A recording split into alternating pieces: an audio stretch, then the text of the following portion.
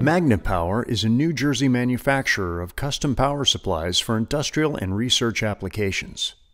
Two MiR 100 robots from Mobile Industrial Robots are improving logistics and efficiency for this vertically integrated manufacturer to help it compete in a global market. Moving materials around the different operations of the company, it takes up a lot of resources. And what we found is people were basically all day long moving materials from one department to another. We uh, thought it'd be great if we could have a way to move those around using autonomous vehicle.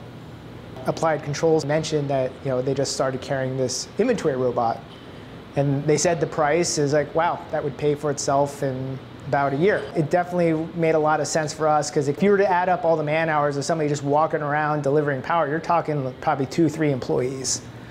We just have it going in a bus route. It keeps on going around and finally it will go back in the stockroom again. And it will sit there, it'll go in its charge cradle, get set there for five minutes. Stockroom employees can pause it and load up the next round. At a power supply company, we're very concerned about safety. We put the MiR robot through his paces. We jumped right in front of the robot, making sure he would stop. And I mean, it's pretty amazing what he can avoid. One thing that was pretty astonishing for me is that the, uh, the robot was delivered 15 minutes later, it was unpackaged on the floor, and within two hours this thing is traveling from point to point in our building. You have to upload a schematic of, of our facilities, and that, that just blew me away. The web interface allows for very simple programming. The robot can be controlled from any device connected to the network the robot is on, which makes it very quick to make changes, updates, or edits to the, the mission that it's running.